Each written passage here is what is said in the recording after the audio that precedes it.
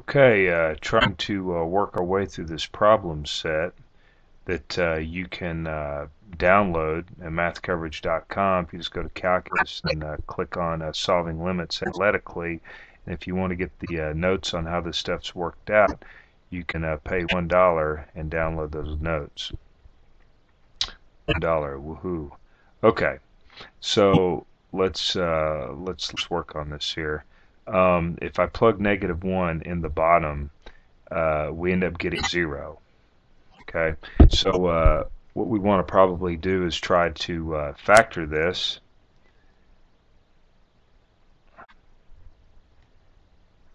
And what we're going to uh, get is we're going to rewrite the limit as x approaches negative 1. And so we factor the top and we can factor this as uh, 2x minus 3 and x plus 1 and that's all over x plus 1 so as you can see uh, if we plugged a negative 1 in the top we would also get 0 and you'd get 0 over 0 which means that we need to factor the top if we can now, because these cancel out, I'm going to rewrite this limit.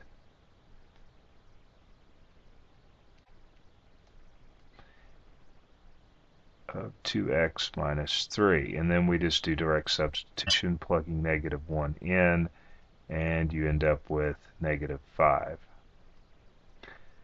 uh, number 18 this is one that you're more likely to see on a test so if I take 0 and I plug it in, I get 0 on the bottom, and that uh, means that uh, either the limit doesn't exist, or maybe the limit does exist, and we need to manipulate this thing in such a manner so that uh, we can see if uh, the limit uh, happens to be a real number.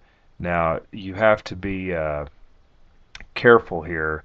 There's something you need to look at, and I want to just show you number 18 you notice this says the square root of 3 here and this one shows the square root of x. And so you need to be uh, really careful. A lot of students uh, what they're going to want to do is they're going to want to multiply the top by its conjugate. And uh, that is um, if I take the top of this thing and I uh, multiply by the uh, square root of uh, x plus 5 and then throw a plus sign out here the square root of x over and I'm going to rewrite the same thing in the bottom x plus 5 plus the square root of x and then to uh, multiply the top out and uh, and we're going to end up with the limit as x approaches 0 and so when I fold the top, I'm going to end up with an x plus 5 minus x. And that's going to be all over x, and then in parentheses, x plus 5 plus the square root of x. Uh, and uh, the x's cancel out, and so we're left with a 5 on top. But uh, we still have this x down here in the bottom, close parentheses there, and if we plug 0 in the bottom, we still end up with 0 in the bottom. And so this thing is still 5 over 0, which means that the limit does not exist. Now, as we work through 19 here, we're going to do the exact same thing and you're going to find out that this is going to end up uh, becoming a little bit different.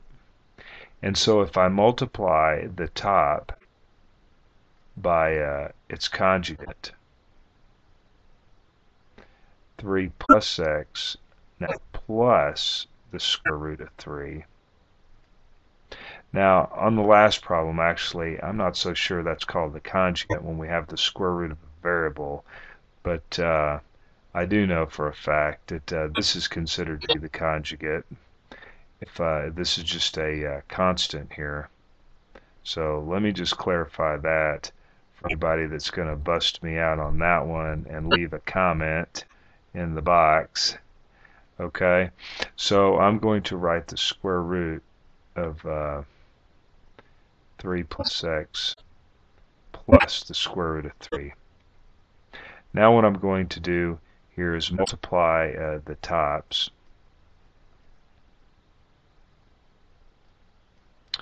And uh, we end up with the limit as x approaches 0. And now when I do this, I multiply this stuff out. You know, the square root of 3 plus x times the square root of 3 plus x, right, is this going to end up being 3 plus x.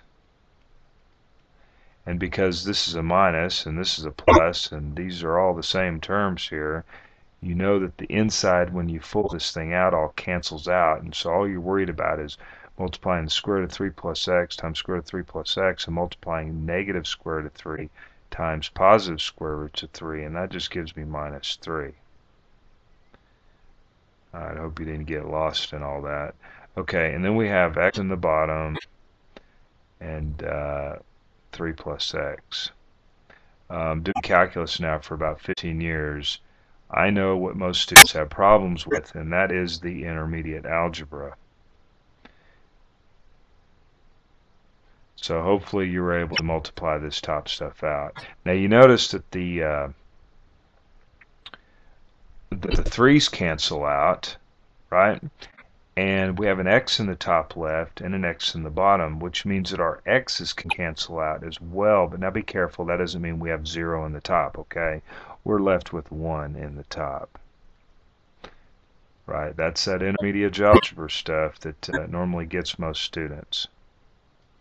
And so now we're left with um, 3 plus x plus the square root of 3. And of course now we can go ahead and plug 0 in for x. And so we have the square root of 3 plus square root of 3. And that makes two of them. So 2 square roots of 3 over 1. And uh, of course uh, a lot of uh, instructors want you to get rid of this square root in the bottom. Which means that we're going to multiply the bottom by the square root of 3 and the top by the square root of 3. And that's going to uh, end up giving us the square root of 3 over, now the square root of 3 times square root of 3 is just 3, and so we have 2 times 3 is 6. And uh, that's going to uh, conclude uh, number 19 and this uh, a few problems that we worked here.